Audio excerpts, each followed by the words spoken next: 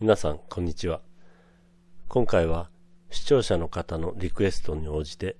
ジュンベリーの剪定についてお話しします。ジュンベリーは4月頃に白い花が咲き、5、6月に実をつけます。その実はジャムなどで食べることもできますし、秋には紅葉も楽しめますので、人気のある木です。自然樹形で楽しむ木なので、あまり細かい剪定は必要ありませんが、成長はとても早い木だと思います。苗木を植えてからたくさんの実を収穫できる7、8年後までには相当な大きさになってしまいます。胴吹きや彦早の処置を怠るとえらいことになってしまいます。胴部形だというのは、例えばこのような枝です。細いうちはどうということはありませんが、放っておくとどんどん太くなります。左側に出ているやや若い色のこの太い枝は、もともとは胴吹き枝です。2、3年であたかも幹のように太くなってしまいます。教科書的な言い方をすれば、このような胴吹き枝、彦早は早めに取ってしまいましょう。と言えばそれで終わりなのですが、現実問題としてはそういうわけにもいきません。主観をどんどん太らせて、どんどん大きい木にしても良いのならそれで良いのですけれども、普通の一般家庭ではそういうわけにはいかないと思います。ある程度の大きさを保つためには、身なりを諦め、立派な主観を切り捨てなければならない場合もあります。ジュンベリーは柔らかい自然樹形を楽しむ木ですから、枝先を詰めてしまっては台無しになります。では、枝先を詰めないで木の大きさを維持するにはどうしたらよいのでしょう。まあ、教科書ってのは都合の悪いことには触れませんから、10年後のことなんて教えてはくれません。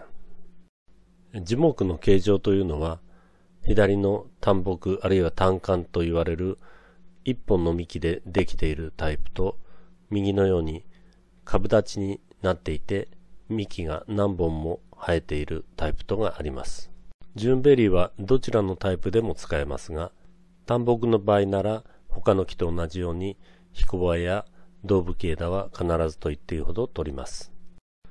株立ちの場合も当然彦葉や胴吹き枝は出てきます。その場合、それを全部取ってしまうかということなんですけれども、今ある幹は、このまま、例えば切り戻し剪定をしながら枝先を柔らかく仕立てていたとしても、何年も経てば、やはり大きくなってしまいます。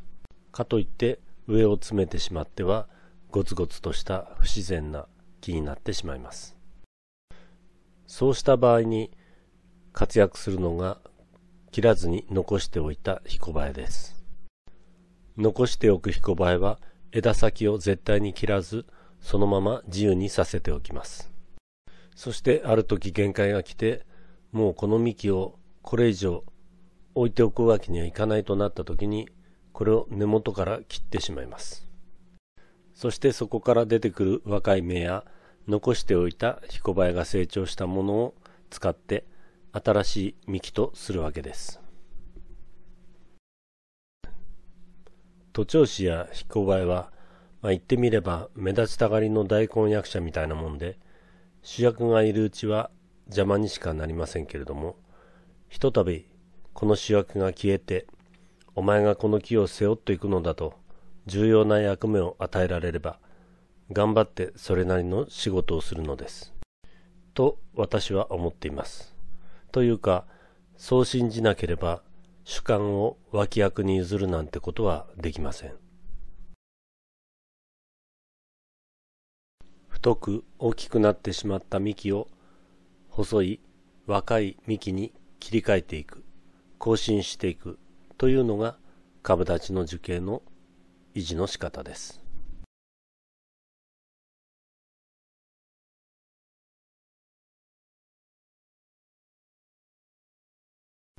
それから、まあおすすめはしませんが、例えばこのような単木が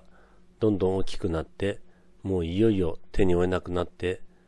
切り詰めたいとします。樹種によってはそれも可能ですが例えばジュンベリーのような木をこのような切り方をしたらもうそれはジュンベリーではなくなってしまいますそのような時のためにこのひこばえを取っておいて何年かそのままにしておきますそうしておいてからこの主幹幹を伐採すれば木を枯らすことなく若い幹に更新することができます。それから先は幹を一本に絞って単木で作り直すもよしこの後を株立ちとして作っていくのもよしということです。なぜ先にひこばえを残しておくのかというとそれはもちろん保険のためです。何もない状態で幹を伐採してもそこから新しい芽が吹く場合もありますしかし芽が吹かずそのまま枯れてしまうということも大いにあるからです。いわば一種の賭けですから、伐採してしまってから新しく芽が吹くのを待つのではなくて、あらかじめ次の世代を用意しておくということです。それでは、やっと本題に入りますが、株立ちの場合に、その立っている幹が残すべき幹なのか、あるいはもう切り落として更新させるべき幹なのか、それを見極めながら手入れすることが必要です。例えばこの左側の青い幹は右側の緑の幹に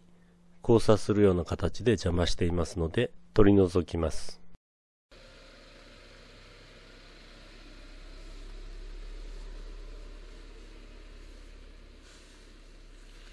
色の違いでもわかるように後から出た若い胴吹き枝です。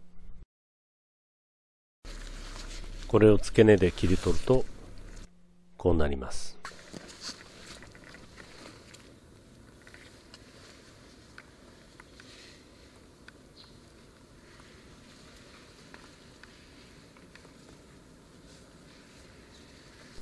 このようにノコギリを持ち出さないと解決できないようなことにならないように無駄になりそうな内側に向かっているような枝あるいは胴吹き枝で役に立ちそうもないようなものは細いうちに早めに処置します。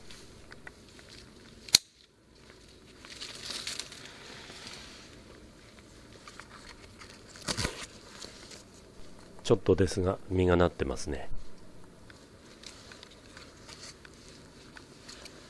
さて次はこのくねくねっとしたこの幹です。太いですので当然高さもあります。今回はこの太い幹を付け根で切って脇の若い幹に切り替えようと思います。以前に芯を止めたようで不自然な鈍角な枝分かれになっています。切り取るとこのようになります。一気に空が開けましたね。切る前がこうで切った後がこうなります。切り口には必ず油合剤を塗っておきましょう。次の例は別の現場で葉っぱのない時期に剪定したものをご覧いただきます。オリーブの木と隣り合わせに植わっているのでちょっと見にくいかもしれません。それでは先ほど説明したことを実践してみますこういう切り方を台切りとも言いますここでは2本の幹を台切りします。隣の幹と幹肌がすれ合ってしまっているこれと、これまた肌がすれ合ってしまっているこれを抜きます。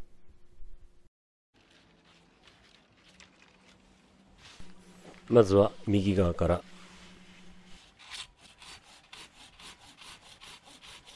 切り終わりの時に最大限の注意を払ってください。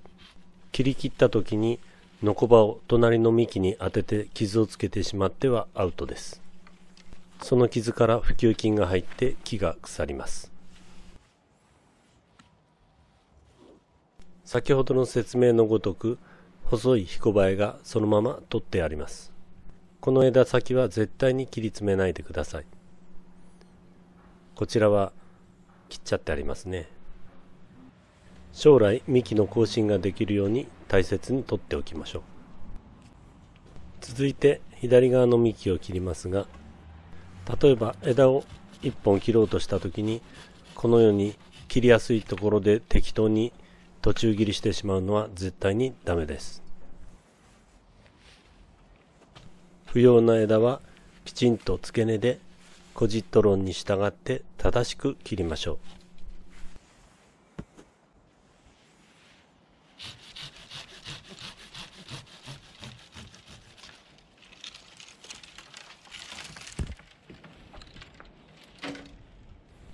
幹が長くて重い時は上の方を少し刻んでから下から切ります。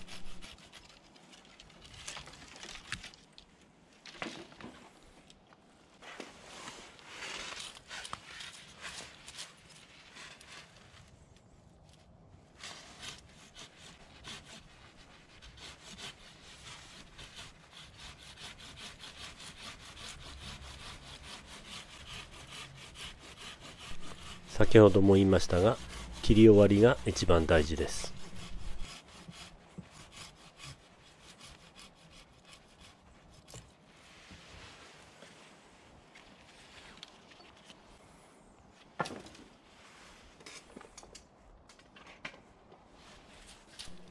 そしてこういう大きい切り口には必ず融合剤を塗りましょう。私はラックバルサンというのを使っています。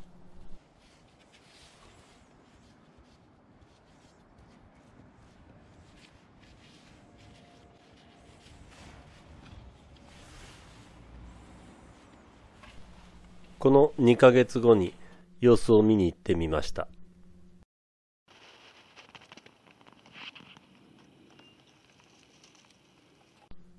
ちゃんと目が当たっていました。よかったです。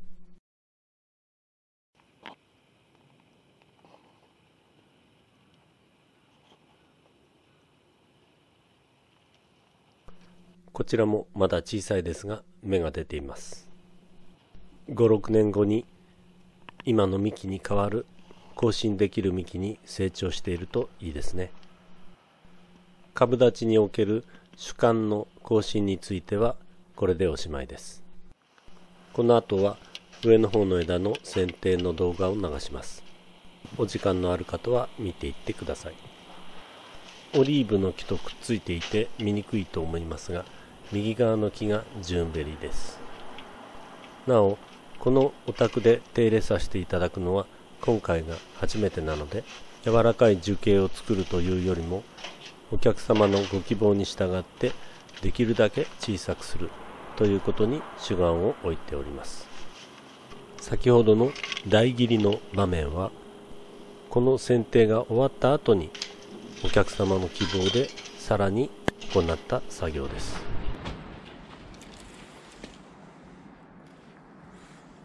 どんなに小さくしたい場合でも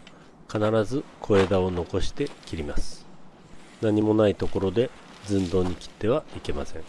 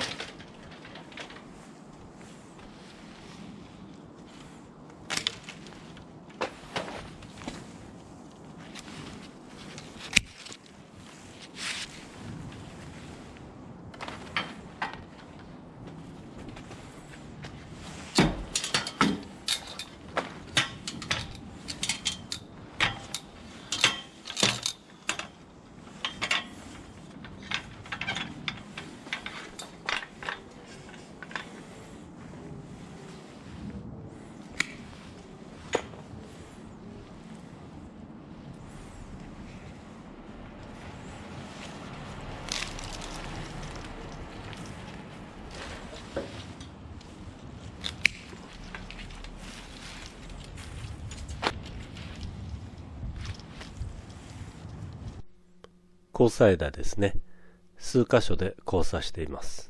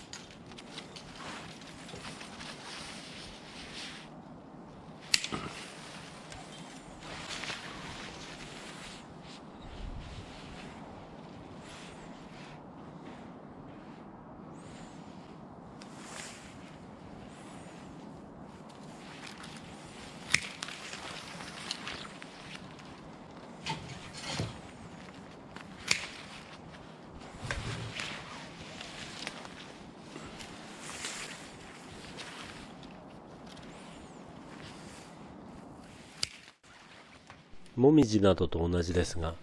切り戻した後の枝先は切り詰めません。もう少し参考になりそうな題材があったらまた後日アップすることにいたします。今回はこれで失礼いたします。ご視聴ありがとうございました。